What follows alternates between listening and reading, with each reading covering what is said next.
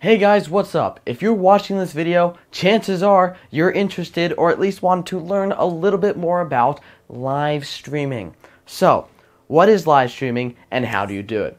Well, in this series, I'm going to be teaching you with the ins and outs, the hardware, the software, and everything you need to know to get started live streaming, or at least what your favorite streamers are doing to get started. So, episode one, I, I hate saying episode one, but whatever. The first part of this series is going to be talking about hardware. Now, I'm not talking about, you know, your fancy XLR microphones and your webcams with lights on them and keyboards and mice. I'm talking about your actual computer hardware. So you can build something like that. That's a streaming PC. We'll talk about that later. So, what do you actually need to live stream? Well, first thing I'm going to say this disclaimer. Any reference I'm making here implies that you have 16 gigabytes of RAM.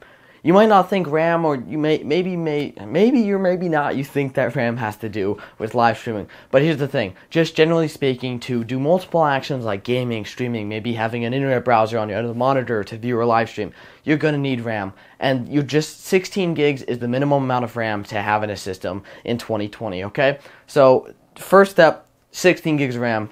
End of story. No negotiation. I don't care who was able to do this or what on 8 gigs RAM. 16 gigs and and that's it. So let's move on to the two main factors in streaming: your graphics card and your CPU. Now, I was on Twitter recently, and some people were giving advice, and they think that the GPU, aka the graphics card, those aren't interchangeable, but you can just, I'm just going to call them the same thing for the sake of the video. That the GPU, aka graphics card, whatever, is the most important factor for streaming. Well, that can be correct, but it also could be incorrect, and let's talk about that now. So, there are two types of streaming. Well, two main types of streaming. GPU encoding, which uses the built-in encoder, or for you know, in unexperienced terms, the streamer, I guess. Whatever. No, I'm just gonna call encoder, which basically the process of encoding is taking the data that you're putting on your PC, you know, the game, and sending it, recording it, and sending it up to Twitch, where it can be uh, opened back up and put onto a screen for everyone to watch within seconds. That's encoding. So. The GPU encoder is the built-in encoder into your graphics card. And then there's software encoding. That's called hardware encoding, and then there's software encoding, which is the X264 encoder that is uh, not built into your CPU, but is uh, on your PC that your CPU has the challenge. I should not be pressing on that. Has the challenge of running. So the CPU is in this whole thing. It's just in this motherboard, so I don't drop it. That little chip is my 7700K. So which one is better, hardware encoding or software encoding? Well, quality wise, software encoding is better. X264 is a higher quality. Now, NVIDIA's new NVENC encoder for the Turing architecture has made strides and actually pretty close, but all in all, above all else, the X264 software encoding is better. CPU encoding is the best one for quality, but that might not be the best one for you. So, let's talk about that now.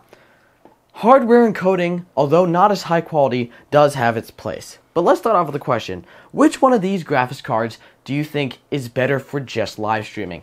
This 1660 Ti that's, you know, kind of plasticky and, you know, blower style cooler and small PCB? Or this monster AMD Vega 64 liquid cooled graphics card uh, with a radiator and this giant, you know, brushed aluminum look? Which one do you think is better for just live streaming? Well, as you expected, the answer is this the 1660 Ti.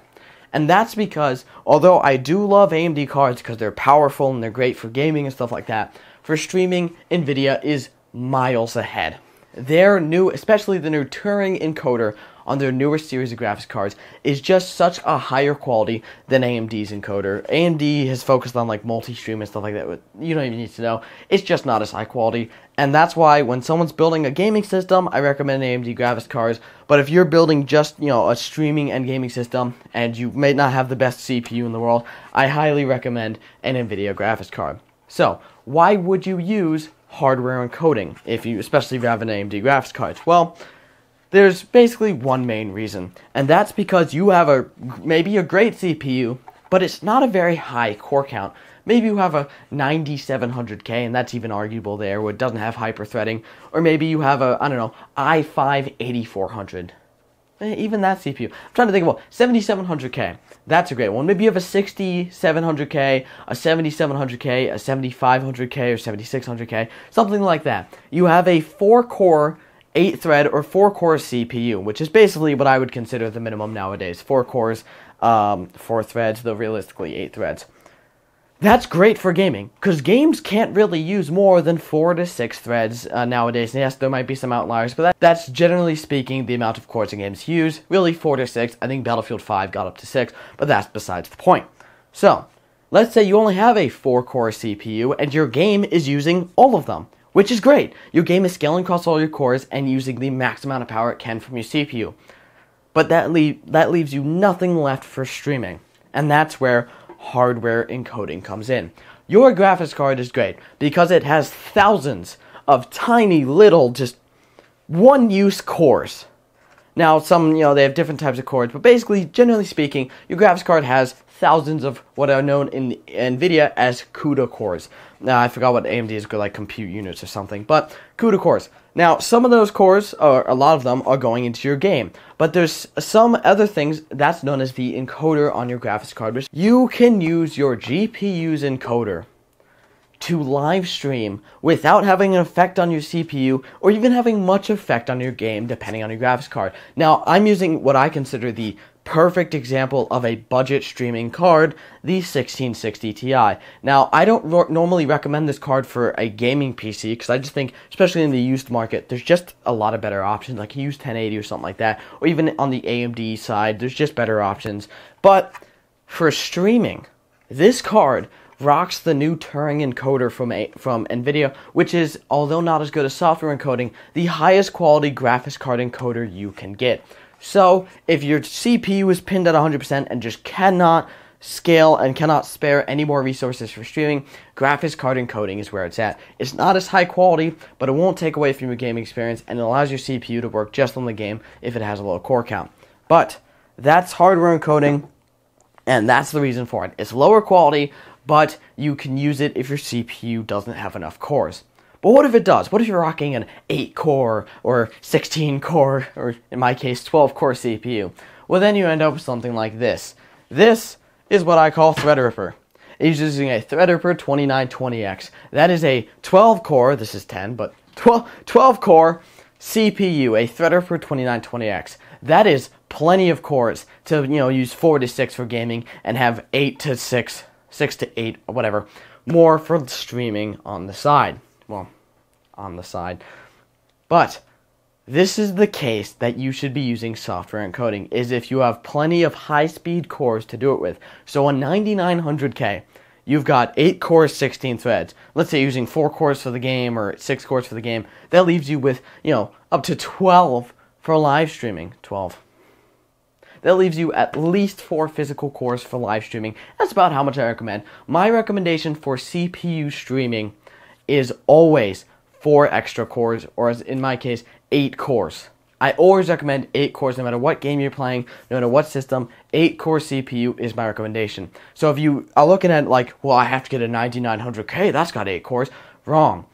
If you are on a budget and you really want to get an 8 core for streaming because you want to get the highest quality live stream you can get, I highly recommend an AMD based system. That'll allow you to have 8 cores or, you know, 12 cores at a much lower price than an Intel spec. But that's besides the point. So, CPU encoding X264 is much higher quality, and if you have extra cores, yes, you might see because it is software. Any software running on your computer that isn't just your game will have a slight performance impact on your game. That's why all those RGB softwares like iCUE and Synapse, they you might not notice it and you might think, well, it's just RGB. They are software and they might just take a little bit away from your gaming experience, but honestly, it's not that noticeable. And if you have a high core count CPU, that effect is negligible. So, you will notice, especially in some games where they don't like OBS.